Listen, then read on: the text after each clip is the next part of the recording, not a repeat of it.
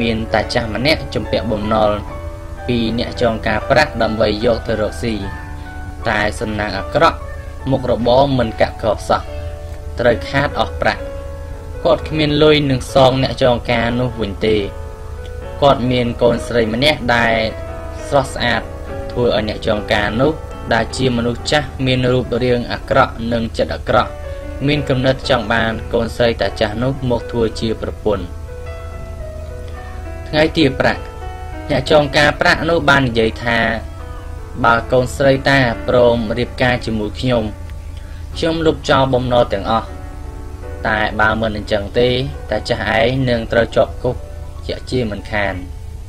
តាចាស់ឪពុកនិងកូនស្រីស្ទាក់ស្ទើរនឹងសំណុំពរនេះណាស់ឃើញដូចនោះអ្នកចងការប្រាក់ដ៏ឆ្លាតវៃក៏និយាយទៅកាន់អ្នកទាំងពីរថាឥឡូវយ៉ាងនេះចោះ ខ្ញុំនឹងរើសយកដុំគ្រោះពីរគឺមួយសនិងមួយខ្មៅដាក់ក្នុងក្របូបរបស់ខ្ញុំ ហើយឲ្យកូនស្រីតាចាប់យកដុំគ្រោះមួយពីក្នុងកាបូបនេះបើនាងចាប់បានដុំគ្រោះពណ៌សនោះនាងមិនចាំបាច់រៀបការជាមួយខ្ញុំទេ ហើយបំណុលក៏នឹងត្រូវលុបចោលដែរតែបើនាងចាប់ដុំគ្រោះខ្មៅវិញ នោះនាងត្រូវតែរៀបការជាមួយខ្ញុំ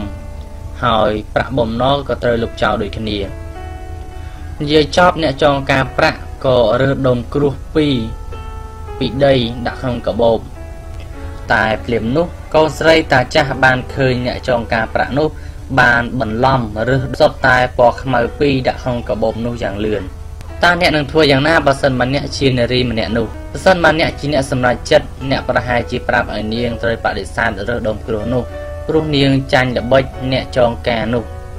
ហើយនាងគួរតែលាតត្រដាងការពិតថា អ្នកចងការនោះប្រើល្បិចឬក៏មួយចង់ឲ្យនាងសម្រេចចិត្តជ្រើសយករើសដុំគ្រោះមួយដើម្បីលុបបំណុលឪពុកនាងហើយរៀបការជាមួយអ្នកចងការនោះ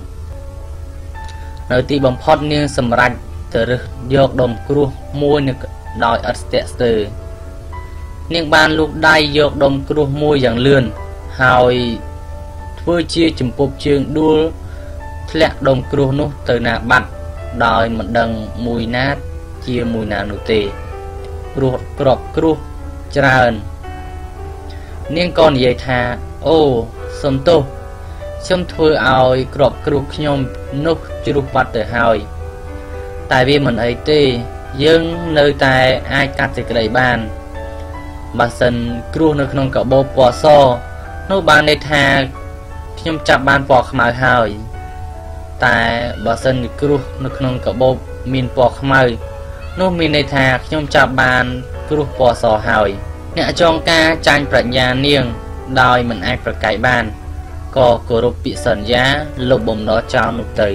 សូមចាំថាល្បិចមិនឈ្នះប្រាជ្ញាឡើយតែទោះជាយ៉ាងណា អ្នកត្រូវឲ្យប្រកាសថា អ្នកមានប្រាជ្ញាតទល់នឹងល្បិច អ្នកត្រូវវាសភ្នែកវាសដៃរវាសគំនិតរវាសចិត្ត